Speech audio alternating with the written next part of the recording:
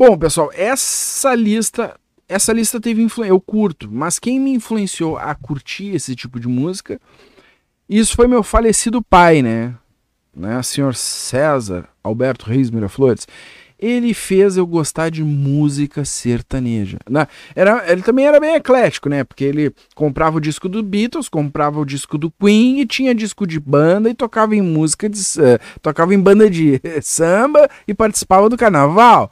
Então isso é e fazia parte ainda da banda da escola, entendeu? Então é, é muito interessante isso aí porque ele adorava música, as minhas influências musicais com certeza, eh, com certeza elas surgiram por causa do meu pai, que ele também era um cara muito eclético e graças a ele eu acabei absorvendo isso aí, de gostar de tudo quanto é tipo de música, né? Mas a influência sertaneja, com certeza, essa veio porque ele tinha uma coleção vasta de música sertaneja, né? Então eu acabei dando aquela mexida nos LPs, né?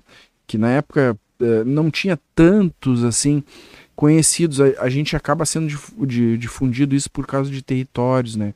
Hoje a gente teria uma facilidade maior, mas antigamente era difícil você conseguir conteúdo, inclusive musical, porque se quisesse tocar uma música que nem hoje, hoje você tem a facilidade de conseguir o songbook, entendeu?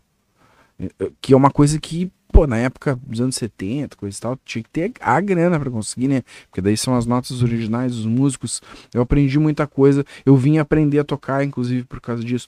Mas eu admiro demais música sertaneja. Então essa aqui é uma das minhas playlists aí que eu vou estar tá construindo. Se você tiver uma ideia aí de música sertaneja, uh, eu vou estar colocando músicas sertanejas e músicas ao vivo, né? Então é, é, uma playlist que eu curto bastante. Eu gosto do ritmo sertanejo porque eu acho que ele é um ritmo muito bacana. Ele é um, um, ritmo muito legal. Embora eu acho que hoje o sertanejo mudou um pouco, ficou muito dor de cotovelo, em vez de falar uh, daquela parte da musicalidade, do cara do interior, entendeu? Uh, daquela coisa do que aconteceu em sua vida, entendeu? Eu acho que tá muita sofrência, assim, da dor de cotovelo, entendeu? Eu acho que tem que resgatar um pouco do Então aqui vai ter um pouco daquele sertanejo, assim, mais moderno, mas também vai ter aquele sertanejo aí que eu vou estar contribuindo com aquele sertanejo de origem, assim, para quem não conhece também, entendeu? Para quem vier a conhecer, é, é muito bacana, assim. Para quem quiser também me ajudar a construir o playlist, seja bem-vindo. Mande o material aí, deixa aí na descrição aí.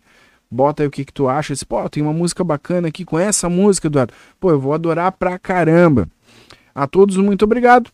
Não deixe de se inscrever no canal aí para acompanhar esse entre tantos outros playlists. E a todos eu dou o meu mais sincero uh, muito obrigado aí para quem comparece no canal e quem uh, absorve o meu conteúdo e acompanha meus playlists. Falou, pessoal!